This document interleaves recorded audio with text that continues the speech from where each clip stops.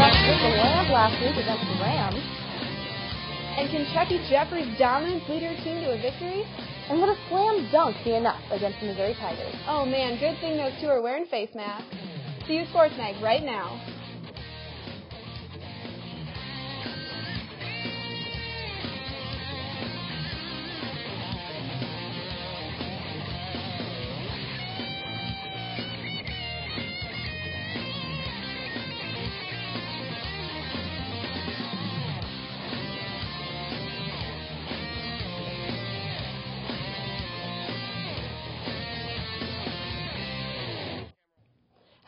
Welcome to this week's edition of Sports Mag. Right now we have some breaking news. We're just going to jump right into it. Friday morning, Dan Hawkins suspended Marcus Simmons indefinitely for violating team rules last year. The wide receiver had 43 receptions for 575 yards. Athletic Director Mike Brown approves the suspension. All right, so the CU men's club hockey team has been dominating this season. Um, they're holding on to the top spot in their division right now. Let's jump right into those highlights. So the CU men's club hockey team took the ice against CSU last Saturday at the CU Rec Center. The Buffs came out really strong. Andrew Gillett scoring this first goal to tie the game up one to one.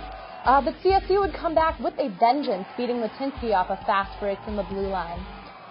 There was a big check into the boards right here from the Buffs. Uh, they tried to get the puck back on, on this play, but the Buffs managed to score off this face-off. It's pretty incredible, Leslie.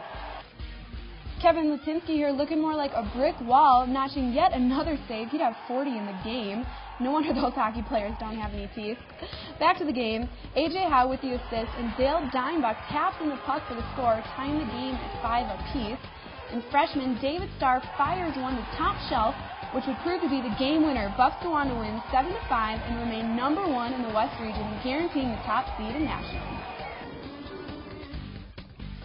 So as you can see, the Buffs took this game. They're still at the top of their division. Uh, Kevin Latinsky with 40 saves. Pretty impressive. Absolutely. The CU women's basketball team experienced a bear attack last Saturday against Oh, Baylor, losing 76 to 42.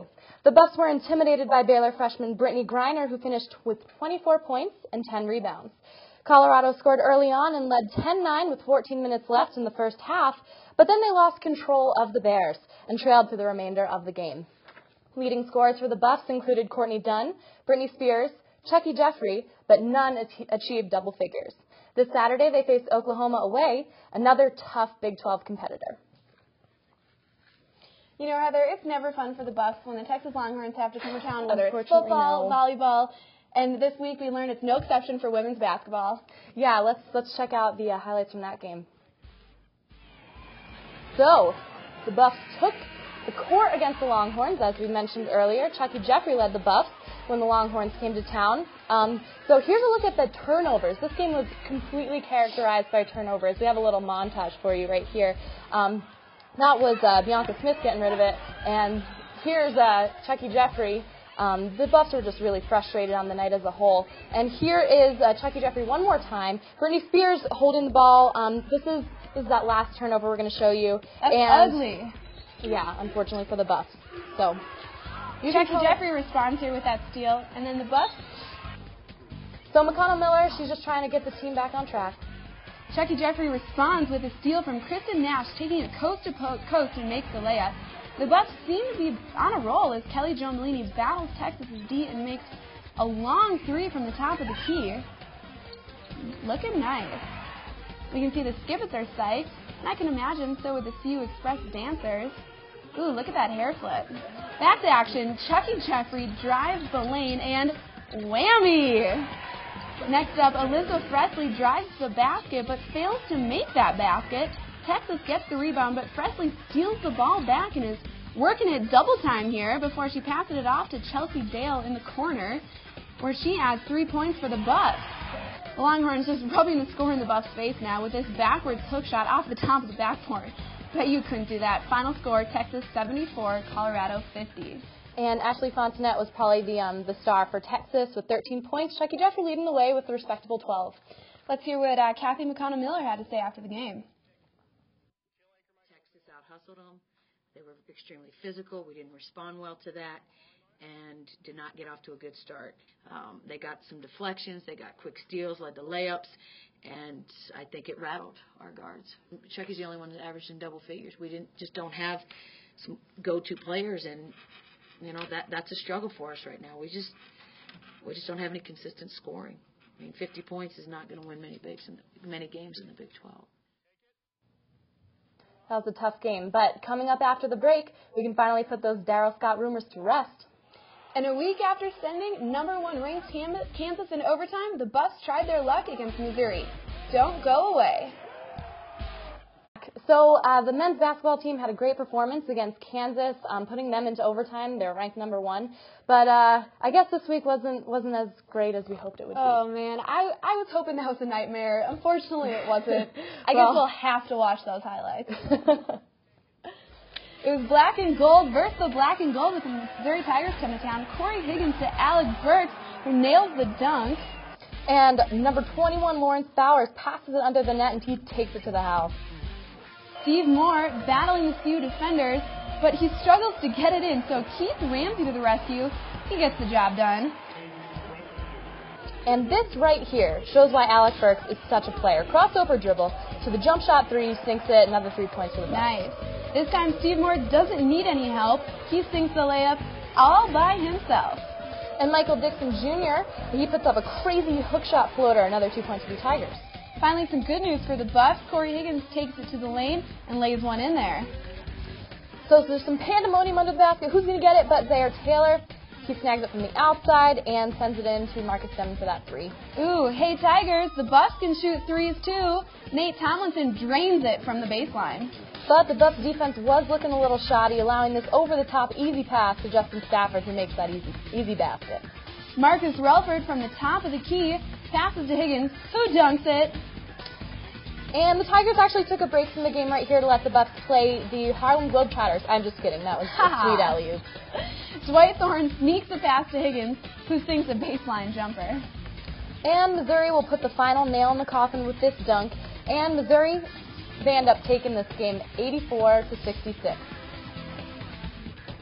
Pretty disappointing game for the Buffs, as you know they had such a great performance against Kansas, but yeah. losing by over 20 points, that's pretty rough. Well, let's hear um, what Coach had to say after the game. I, I don't know if it's an emotional hangover. I, I, I think maybe we got comfortable. I, I think we thought, well, we're at home, you know, and and we've it's been pretty good for us at home, and so it'll just be okay. And even when we got down early, I think our guys were like, well, you know, it'll be okay, and and that's where I give Missouri credit. And you know, today's a day that you know we've got to reevaluate ourselves. We we've got to look in the mirror and and be able to do that and know what do I got to do to help us get better. Darrell Scott's complicated history at CU has taken another unexpected turn. Reports on Monday said Scott met with coach Dan Hawkins about possibly coming back to the program. Scott countered those claims on Tuesday, calling the report a lie and reiterating that he has no plans on coming back to Boulder. If Scott does decide to return to the team, Coach Hawkins would have to approve it, and he would be ineligible to, to participate in spring practices because he's not even enrolled in any classes at CU.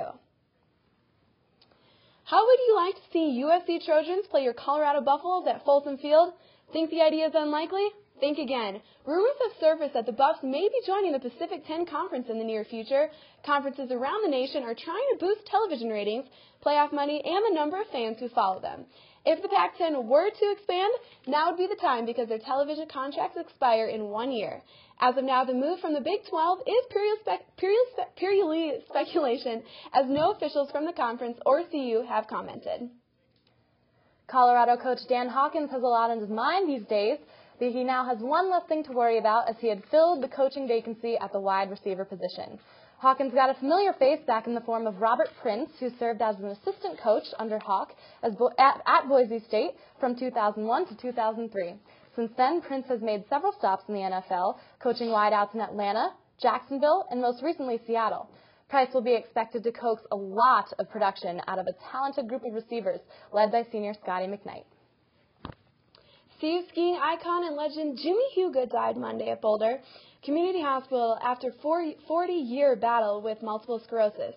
Heuga passes away 46 years to the day, he won the first two medals in the United States men's Olympic ski team history.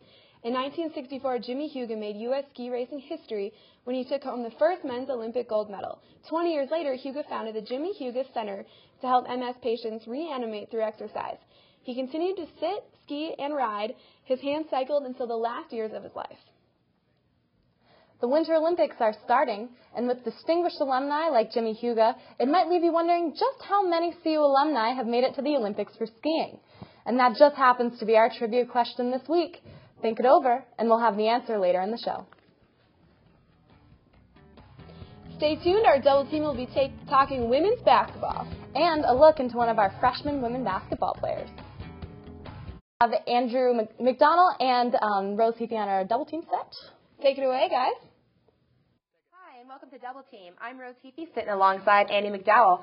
And, well, we think on Double Team, the men's basketball team has been getting a little too much love lately, so we thought we'd mix it up and talk about the women's basketball team. So, what happened this week on Wednesday? You're right. We played Texas, number 14 in the nation, at the Coors Event Center this last week, and unfortunately lost 74 to 50. That puts the record at 12 and 10 overall and 2 and 7 in conference.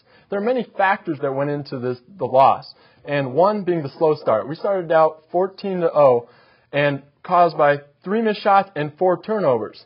Coach McConnell Miller said she was disappointed with the effort. She said the Buffs were, quote, out hustled and out physicaled, which hindered, which hindered them from scoring and ultimately staying with the Longhorns.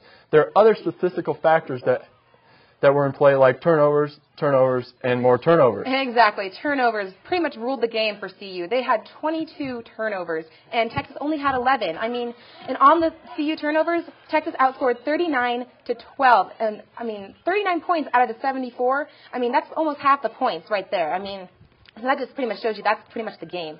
And then the assist wise, UT had 13 assists to CU's only six. I mean, they're just not getting into the paint for CU. You're right. Not getting in the paint was a big thing. They they were outscored 44 to 24 in the lane, and not getting in the paint, they had to jack up threes. They shot 13 threes in the first half and only made three. That's 23 percent not getting into the lane is a fundamental of basketball, and that's not translating to getting to the free throw line. Exactly. And Texas, they had 23 free throws, and CU only shot seven and had none in the first half. And CU has been pretty good lately on free throws, but I mean, they just didn't have a chance to get to the line. So, what would you say this game was mostly like? Overall, I'd say it's a tale of two halves. Texas outscored the Buffs 41 to 21 in the first half. That's a 21 point margin going to intermission, and you can't really make that up. They did stick with them in the second half, being outscored only by th- by four, excuse me, 33 to 29, and that was only really during garbage time. But let's say Texas is really good. Mm-hmm. I mean, they don't call it the big bad Big 12 for no reason. I mean, Texas is ranked 14th in the nation, but when it comes to the Big 12, they're really in the middle of the road. I mean, who else is ranked? That's right. There's seven teams in the top 20 in the Big 12. That's more than half. This Saturday we play Oklahoma, who's 12th in the nation, and on the road in Norman, and they're nine and one nine and one at home. Then on Tuesday we have Kansas, who is two two games ahead of us in conference, and we already lost to them in Lawrence by 11. Then next Saturday we have to go to Lincoln to play Nebraska, number four in the nation, who's 22 and 0 and 9 and 0 in conference. But really, we need to get back to what we're doing ourselves. Exactly. We need to get back to the individuals and work on the foundation that we have as a team. And so, I mean, we have Brittany Spears, who's averaging 12 in conference and almost 17 overall. But that really didn't show up too much in this game. I mean, she's only scored five points and had only three rebounds.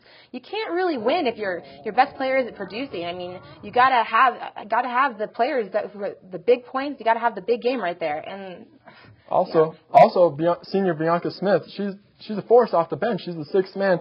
She's second in the conference with 13 points per game off the bench. She leads the Big 12 in three pointers made in 60 with 60, but she only went one for seven from beyond the arc against Texas. Also, Whitney Houston, who's a junior, she didn't play against Texas for personal reasons, and we don't know when she's going to be back. But these veterans, although they're not playing well, they give chances for the freshmen and sophomores. Exactly. You don't, you may not have the, the veteran leadership, but I mean, you got the younger players stepping up and they're getting those much needed minutes, and they're really invaluable to to like to the future right down the road. I mean, especially Chucky Jeffery. She's been really consistent lately, averaging 11 points in conference, and she's been sharing the rock with a little over three assists per game. So that's pretty good. Another freshman I want to talk about is the Malcolm Peck sisters, especially Megan. She's playing beyond years. Although she isn't filling up the stat sheet, she's doing the little things that get it done and help the team win. Another name you haven't heard of yet is Melissa McFarland. She didn't get much playing time early in the year, but against Texas, she went for 22 minutes, and she had some big minutes against T- Baylor. with the best center in the country in Brittney Griner, who is 6'8", and she likes to dunk. Also, sophomore Alyssa Fressle played one of her best games of the year, scored 11 points when her average is only 7. These uh, names will be here to, for a long time. But you know what? Right now, right here and right now is what we got to do. Yeah. So looking forward, the Buffs are going to Norman on Saturday. So they're looking to get a little love a day early on the road against number 12 ranked the Sooners. Now Oklahoma did just beat uh, the Baylor the Baylor Bears, who are 11 ranked in overtime, 62 to 60. But you know, uh, Oklahoma also has five players averaging in double figures, so it's going to be pretty tough to slow them down. You're right. There's five players, so but you can't slow them all down. Two players we want to focus on are Amanda Thompson, who's averaging a double double, 17 and 10 a game, and Danielle Robinson at the point, who's averaging 11 and she's dishing the rock. And we're only one on five on the one and five on the road, and that's really important. Exactly. So we just got to get down to it and play the game we're capable of. Well, that's all we have for double team, and we'll throw it back to the desk. With young blood coming in, in each season, it's good to get to know your players. This week we met with freshman forward Melissa McFarland on the women's basketball team. Yeah, what drew you to the, uh, the CU women's basketball program? Um, the coaches, especially his family from home, and the team chemistry, especially. I mean, when I came here, I mean, I adapted with them really well right away. We all get along really well. I mean, they're basically all my sisters, and I feel like I'm very protective of them. So. And uh, last week's loss against Nebraska, did that uh, hit home for you a little more since you've done that? I mean, it did. I know every one of them very well, but I mean, next time when we play them, I know how to play them and how we can stop them. So I think we're going to come out strong when we play them again next time and hopefully beat them. We, we all know each other's flaws and we all know each other's like strengths. So we play together knowing those things. And, and uh, what do you think you uh, and your team can bring to the next Nebraska game next week, uh, maybe differently? Uh, defense. I mean, I think we need to stop Kelsey Griffin, who's their post player, who's averaging like 20 points a game, and Yvonne Turner, who's just really fast. And we have all the talent on the team. We just need to believe we have it. And uh, is your family going to the game? Yes, there's gonna be like probably be like 25 people, and all my friends go there, so there'll So- be like a lot of people there. So who will your uh, parents be rooting for? I don't know. My dad played for Nebraska, but I know he'll vote for CU. Hope I know he will. Otherwise, I'll be really mad at him. So. The CU women's golfers were in California this week for the Northrop and Grumman um, Regional Challenge, and the event was rough, to say the least. Uh, bad weather during the first two days contributed to difficult play for the entire tournament, but um, that was not enough to slow down one buff. Senior Christine Kim tied for 21st overall after an even par 71 on the final day of play. Despite the solid outing from Kim, the rest of the team could not catch any breaks and struggled to finish 14th overall. The Buffs will have a month to work on their swings uh, before they head back west to San Jose for the Juli Inkster Spartan Invitational on March 8th. Last weekend, Bucks track and field headed south to the New Mexico Classic. Events were split up on Friday and Saturday, with junior Alex Von Hagen leading CU with a fifth place finish in the heptathlon. With the third best score in CU's history, Alex Salzman followed him with seventh place but took top honors of the 1,000 meter run. On the women's side, Katie Kark led the female throwers with 12th in shot put and 15th in weight throw. Currently this weekend, the team is split in half, with some traveling to Iowa for the ISU Classic and the rest competing at the Air Force Invitational in Colorado Springs. CU women's tennis achieved its first ever victory against number 65 ranked BYU last Saturday in Provo, Utah. The day was off to a rocky start for the Buffs when they dropped the doubles point, but they came stampeding back. Seniors Camilla Balassi and Melissa Esposito helped even the score with their singles wins. Then freshman Erin Sanders claimed her first career singles match, allowing Colorado to take the lead 4 to 3. The Buffs became 3 and 2 overall and then traveled to Idaho to take on Boise State. Despite their comeback win against BYU, the tennis team failed to maintain their momentum against Boise State last Sunday. The 38th ranked Broncos came out on fire, starting the match off with a 4-0 lead, and the Buffs could not catch up from there. Seniors Camilla Balassi and Monica Maluski scored both of the points for CU in their singles matches. Maluski's singles win gives her 78 for her career, good enough for eighth on the school's all-time wins list. She also managed a doubles win, putting her in with a tie for, with Jessica Garrow for second all-time. Next up is 78th ranked Oregon, who the Buffs will take on in Albuquerque this Saturday.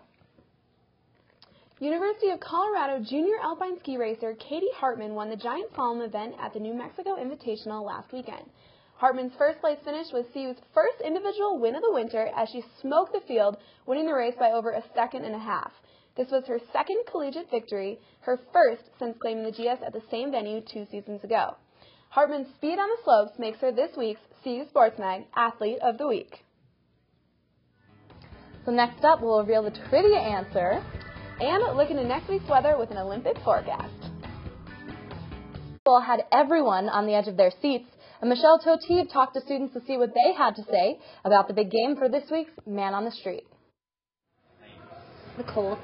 The Colts. I wanted the Saints to win. I'm here at CU's Rec Center seeing what students thought of last weekend's Super Bowl. It was an awesome battle between Peyton Manning and Drew Brees, and some great commercials in between. Let's see what students had to say. But overall, it was a really good game. I like, you know, it's good to see when it's a close game and when teams are, uh, you know, pretty compatible and pretty well matched. So it was a it was a good showing. Yeah, it was a really good game. Went all the way down to the end, so that was exciting. If there was a team uh, that I actually liked playing in Super Bowl, I would have watched it, but I didn't. I worked instead. Just kind of all of the Bud Light and Budweiser commercials I thought were good. A little disappointed by the commercials. Uh, I think it's been named the most controversial. The uh, David Letterman, Jay Leno, and Oprah commercial. I think it was pretty hysterical having them all three there. I mean, I felt Peyton Manning could have done much better considering how well he did in the beginning of the season. I think he put up a great performance. I mean, he threw for over 300 yards, one interception. I was returning for a touchdown, unfortunately. It kind of sucked that he threw those, well, the, the one interception at the end. You know, it would have been cool to see them come back. But Drew Brees, I think, definitely deserved it. He put up an amazing performance, some good numbers, tied Super Bowl record. Can't really beat that. This is Drew Brees. yeah, that's what I have to say too. um, I just kind of after Katrina and everything, I thought it was like kind of cool. Like especially, I think New Orleans kind of needed it. Sounds like most of the students were really happy with the outcome of last weekend's Super Bowl, mixed in with a lot of those really great commercials. Hopefully, we'll get a lot of those reactions for next year's game. I'm Michelle Totib, and this is CU Sports Mag. You've been waiting so patiently for the answer to our trivia question, and the time has finally come. Just to remind you how many CU alumni have gone to the Olympics for skiing, and the answer is four, including Jimmy Heuga, Billy Kidd in 1964, Spider Sabich in 1968, and Jeremy Bloom in 2002. I didn't know that. That's a pretty neat fun fact that about was a fun one, yeah, especially with the Olympics coming up right now. Oh, yeah, exciting. Um, so actually, next up, we are going to take a look at our uh, weather forecast for the weekend with Christine Corrado. I think she may even have a little special Olympic glimpse of a forecast coming up. Hey guys, so we're just going to jump right into the weather. Um, we had a pretty crazy week this week. We had a blizzard. Uh, so um, we, are going to have a cold front moving into Colorado. Um, so it's going to be probably in the mid 40s, I would say. So definitely get your jacket on or go out and snowboard. It's going to be it's going to be pretty sunny as well. So that's going to be good. So uh, Friday is going to be a high of 46. It's going to be um, kind of cloudy, kind of sunny. Um, Saturday is going to be about the same, high of 45. And then Sunday we're going to have a few snow showers. So you should definitely just get out there, go snowboarding, go skiing. Um, build a snowman. Uh, Breckenridge is going to be uh, about 50% chance of snow. I'm actually going to Breckenridge. I'm going to go snowboarding, so I'm really excited about that. Um, there's going to be some packed powder, so that's pretty good for snowboarding and skiing. And we have almost all the trails open, 153 out of 155, so that's really exciting as well.